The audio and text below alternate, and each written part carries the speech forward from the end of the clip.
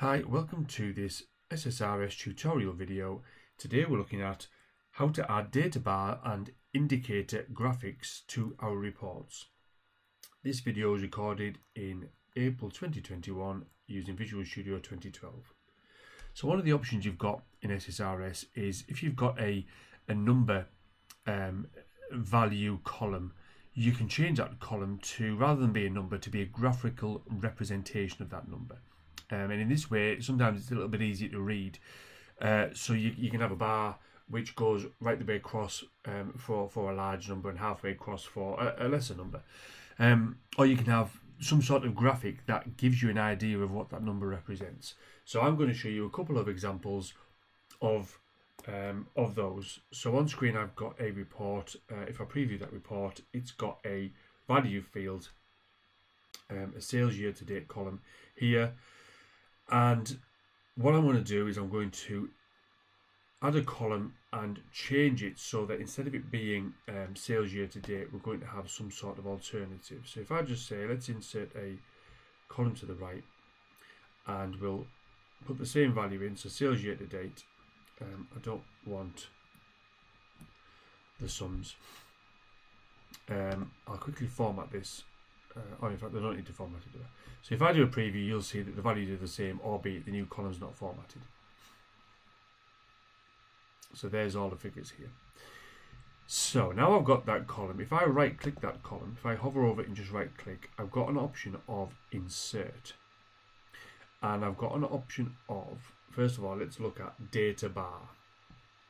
So this data bar um, is the first example I'm going to show you, and it's uh, it's a bar that goes across um, the cell to indicate the approximate value of uh, of data in that cell. So if I just select the um, the default, click OK. And now if I preview that data,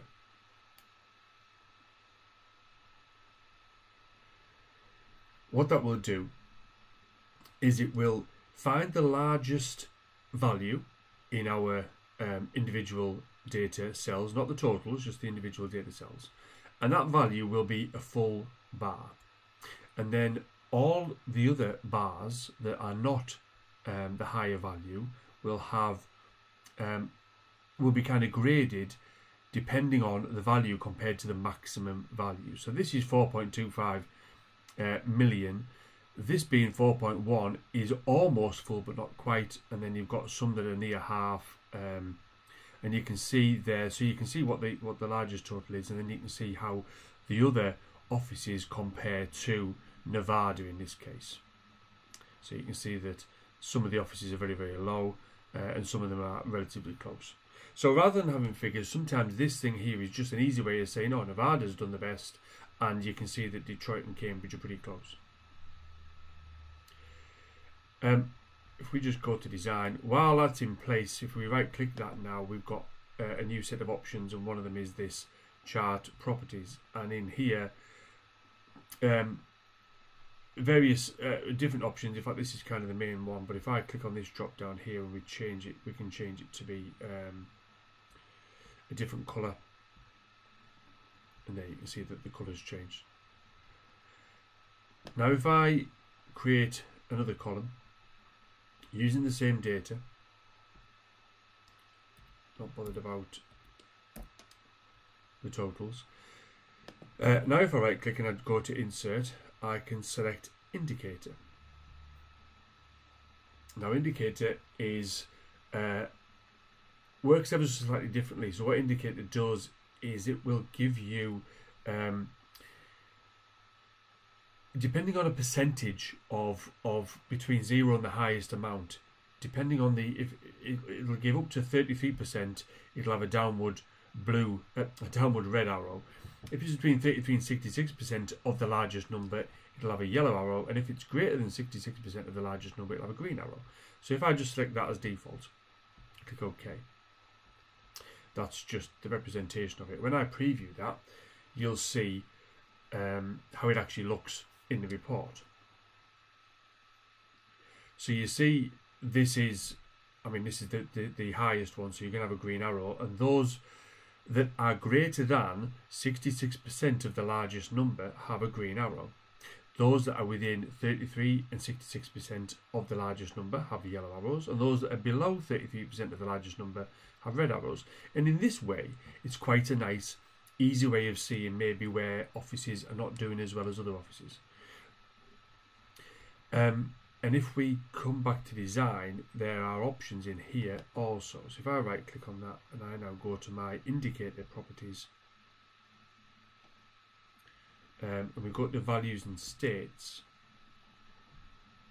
this here is the the um, where you add the extra sorry where you add your, your your gradients if you like so between 0 and 33 percent it's going to be red between 33 and 60 percent it's going to be yellow between 66 and 100 percent it's going to be green. And you can add here or you can change these percentages should you want to. Um, you can change uh, the, the colours here um, you've got icons to choose from here as well. Um, if I cancel that we'll, rather than have this one we can change it to be um, a different indicator so we'll choose maybe this star indicator see how this one looks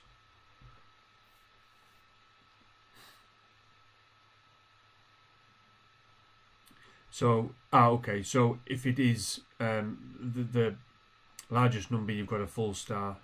Um, maybe not quite as easy to see, but just as an example.